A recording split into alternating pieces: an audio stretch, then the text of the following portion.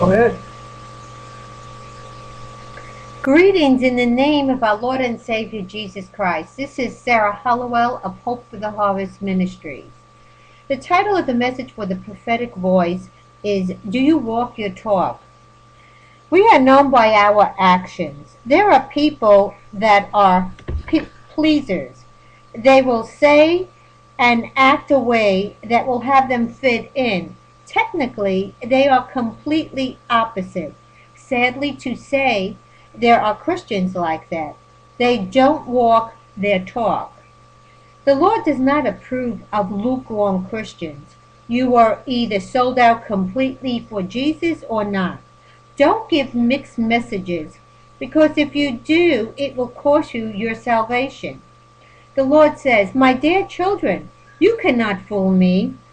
I know everything about you. Remember, I created you in my image. I know who is and who is not following me. You have the freedom to follow me or not.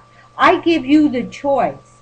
On Judgment Day, everyone will answer to me, and I, and only I, know the outcome of where you will spend eternity. There are many pleasers that are and are multiplying. They have two sets of groups they associate with. One group are the ones that are walking with me, and the other group live a life of drinking, drugs, carousing, and doing things that's an abomination to me. My children, if you do not walk your talk with me, how do you expect me to acknowledge you? If you live a double life, how do you expect to win souls for me, lost souls for me? I will not tolerate my children who live a double standard. I created you in my image, and not for you to live to please others, says the Lord.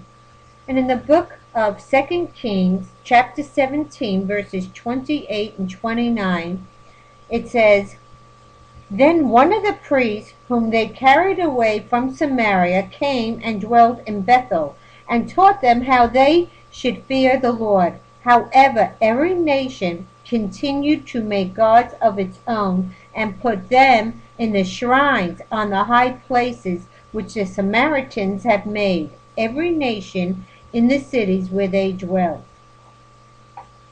Saints and loved ones, and the ones that are walking with the Lord, remember, we can walk the talk completely if we look up where our help comes from and do the work of the Lord. God bless you and have a blessed week.